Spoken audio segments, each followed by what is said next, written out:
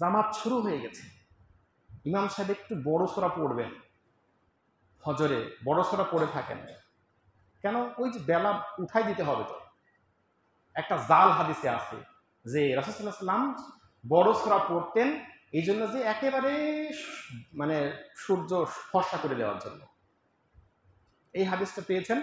তো ওই, ওইটাই সবাই আমরা জানি যে শুরু হয়েছে এখন এক রেখা হোক, দুই রেখা হোক, বুঝতে পারছি না, দেরি করে গেছি। আগে সোনা পড়তেই হবে। অথচ রসুলের হাদিস সই হাদিস। ইকামত শুরু হয়ে গেছে।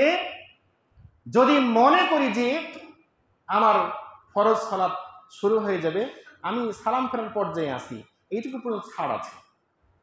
সালাম ফেরা, ইকামত, আমি সালামও শেষ করব সুন্নাতের, আমার ইকামতটা শেষ হয়ে যাবে।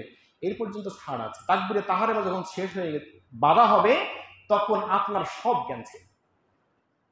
মোবাইলে কথা বলছেন, কল কেটে দিয়েছেন। কল কেটে দিয়ে যত হাজার হাজার করে ডাকেন আর কথা বলেন, ওই অপর প্রান্ত উনি আর কখনোই শুনবেন না।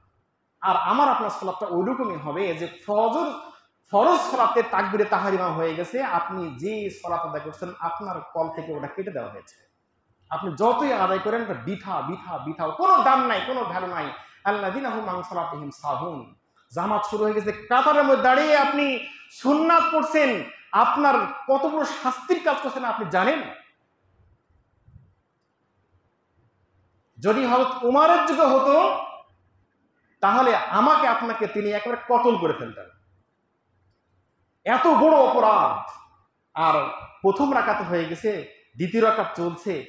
দ্বিতীয় রাকাতের রুকু যাওয়া যাওয়া অবস্থা, আর আপনি রাত দাঁড়ায় কাতারের মধ্যে এসে সুন্নাত নিয়ে ব্যস্ত হয়ে গেছেন। এত বড় সাহস আপনাকে কে দিয়েছে? বি কেয়ারফুল মুসলিম।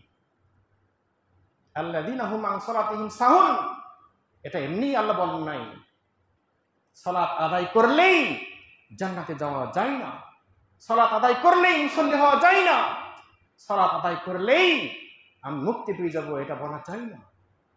সলাদ যদি রাসুল্লাহ সাল্লাহ সাল্লামের দেওয়া বিধান যে না হয় তাহলে আল্লাহ দিন আহুম আং সলাতিহিম সাহুন। আল্লাহ বলে দিয়েছেন কি হবে?